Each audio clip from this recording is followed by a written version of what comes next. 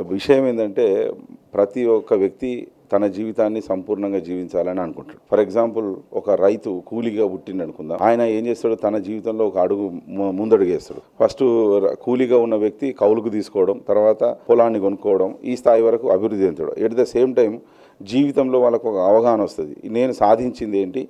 నేను నా పిల్లలకు కానీ నా కుటుంబానికి కానీ నా ఊరికి కానీ నా దేశానికి కానీ నేను మిగిల్చింది ఏంది అనేది అతని యొక్క ఆలోచన. అట్లా ప్రతి ఒక్కరి జీవితంలో ఒక సాధన అనేది ఒకటి ఉంటుంది. ఈ సాధనలో అంతర్లీనంగా శోధిస్తూ ఉంటాడు ప్రతి వ్యక్తి. తన జీవితంలో బలహీనతలు ఏంటి? తను ఎక్కడెక్కడ వైఫల్యం చెందాను?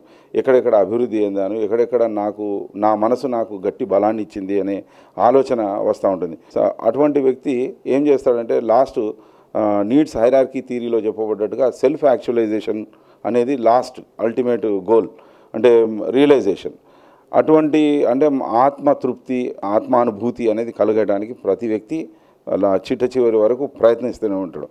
ఆ శోధన నేను కొద్దిగా ముందుగా రాశాను. అంటే మన అల్టిమేట్ గోల్ ఏంటి? లైఫ్ ప్రతి ఒక్కరు అంటే ఒక ప్రొఫెషన్లో నేను ఎగ్జాంపుల్ రైతుని చెప్పాను. ఒక రిక్షా పుల్లర్ ఉంటాడు. కొద్ది సంవత్సరాలు రిక్షా పుల్ చేసిన తర్వాత మళ్ళీ కొత్తది రిక్షా కొనుక్కుంటాడు. తర్వాత మళ్ళీ ఆటో రిక్షాకి వస్తాడు. తర్వాత కార్లు కొనుక్కున్నాడు అంటే ఇట్లా అభివృద్ధి చెందడానికి ప్రయత్నం చేస్తుంటాడు. అదే అదేవిధంగా స- కుటుంబాన్ని డెవలప్ చేసుకోవడం.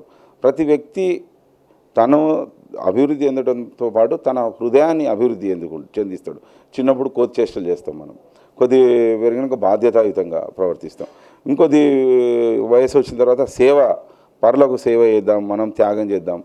మనం సంపాదించుకున్న సరిపోతుంది. ఇతరులకు ఇద్దాం పర్యావరణాన్ని పరిరక్షిద్దాం పశుపక్షాదులను రక్షిద్దాం. ఇటువంటి ఆలోచన వస్తుంది. ఇక అల్టిమేట్ ఏంటంటే నేను నేనెవరు? నాకు కావాల్సింది ఏంటి? ఇంతవరకు నేను సాధించింది ఏంటి అనే ఒక ఆలోచన మన లోపల కలుగుతుంది. ఆ కలగడంలో ఏ రకంగా ప్రయాణం చేస్తామనేదే నేను శోధనలో రాశాను.